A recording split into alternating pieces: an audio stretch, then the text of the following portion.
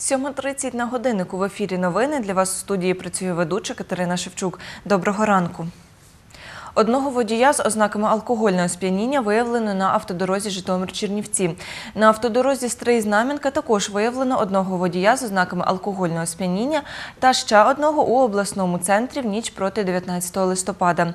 Про це повідомив прес-секретар управління патрульної поліції області Роман Мартинюк.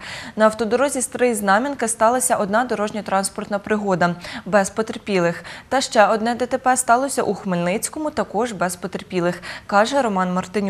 Патрульні зареєстрували 48 випадків порушень правил дорожнього руху. На службу 102 надійшло 51 виклик. Дев'ять малюків народилися уночі у обласному центрі. З них п'ять дівчаток та чотири хлопчика. Про це повідомила чергова акушерка приймального відділення Хмельницького міського перинатального центру Жанна Вовк.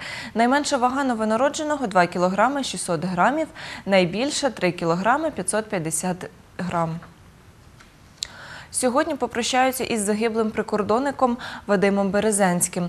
Поховають його у Ізяславі, звідки родом чоловік. Про це повідомили у Національній академії Державної прикордонної служби України імені Богдана Хмельницького.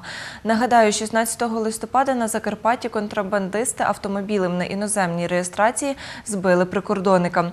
Його ушпиталили до реанімації, де зробили операцію. Однак від отриманих травм чоловік помер 17 листопада.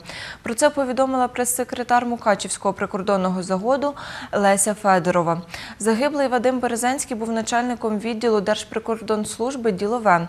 Підозрюваного у наїзді на чоловіка затримали та обрали запобіжний захід у вигляді тримання під вартою терміном на два місяці без права внесення застави.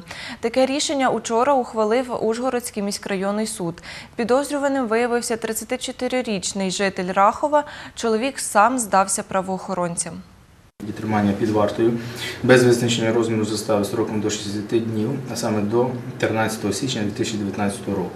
Строк тримання під вартою вимагає Івана Івановича 16 року народження, рахувати моменту його фактичного затримання з 14 години 40 хвилини 17 листопада 2018 року. Ухвала може бути оскаржена до Закарпатського апеляційного суду протягом 5 днів з дня її проголошення. Повний текст ухвали буде складено та оголошено 21 листопада 2018 року о 13 годині 30 хвилині. Слідчий суддя підпис Малюк. Це була остання інформація випуску. Побачимось.